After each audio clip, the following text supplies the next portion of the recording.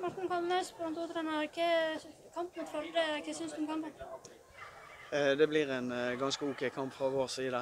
Eh, de tingene vi har hatt fokus på i Sogndal i helgen, føler jeg vi har bra progresjon på. Så Minuset i første omgang er at vi skårer Altså Førde får et mål på, på den ene muligheten de har. så jeg eh, kunne ønske at det var litt mer krevende å, å få mål på eh, oss enn, enn det det ser ut som i første omgang. Og så har jo vi muligheter til å skåre mer enn de to vi har. Så sånn At vi ikke har en mer komfortabel ledelse enn 2-1 når vi kommer til pause, det er en liten sånn minus. Men totalinntrykket etter første omgang er veldig bra. Andre omgang så føler jeg at eh, vi Eh, ja, når vi skårer det første målet i andre omgang, så, eh, så, blir det relativt sånn komfortabelt for oss. Vi, vi ser ganske OK ut.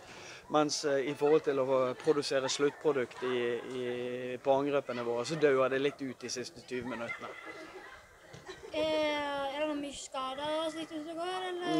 Nei, men litt sånn uh, Eirik Mollenes uh, som går av etter fem minutter i andre omgang og tar seg til hamstringen. Det er jo sånne ting som du uh, vil ha minst mulig av. Uh, Haldor Stenevik spiller 80 eh, minutter, og så får han vondt i ryggen. Det tror jeg er bare en bagatell. Og så Ian Bull som skårer to mål for oss. Han går ut når han begynner å kjenne det litt i lysken. Han tror jeg kommer av før han, han må. Så eh, vi har ikke, vi, vi har ikke mye, mye, skader, men vi tar noen av med litt vondt underveis. Hva har treningsveka vært inn mot disse kampene de har hatt nå?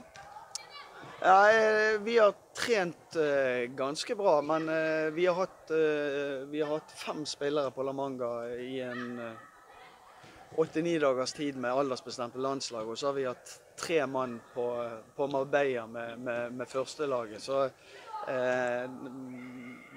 vi har vært litt sånn si, vi har vært litt tynnet ut på, på, på, på både antall og, og, kvalitet, for den saks skyld. Men uh, de som har vært hjemme, de har gjort jobben. Er det begynt å sette dere mål for sesongen som er om to måneder ish?